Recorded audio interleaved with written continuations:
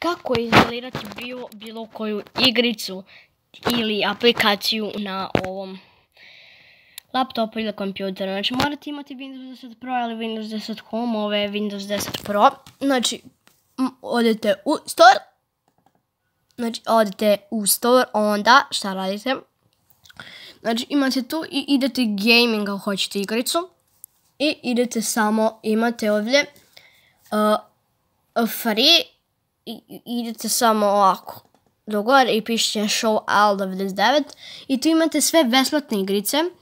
E, ja ću sada skinem Forza Horizon 4, zašto imate Halo Neighbor 2, znači bilo šta možete skidati, tu imaš Forza Horizon 4, imaš bilo koju Asphalt, ali kako se skida, znači uđemo u Forza Horizon 4.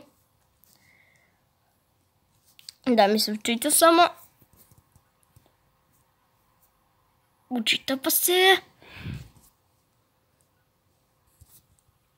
Kad ste ušli ovdje će vam pisati get i kliknite get i onda ima definski del zato što ja sam e, nego sam ja skidao pa sam od slučajno sam i onda kada to uradite samo idete ovdje ali ja ću pritisnuti ovo zato što sam ja već kao i evo pending i imate pet skidanja gore i evo Forza Horizon 4 jeste da zauzima jako puno zauzima jebeno 28 GB.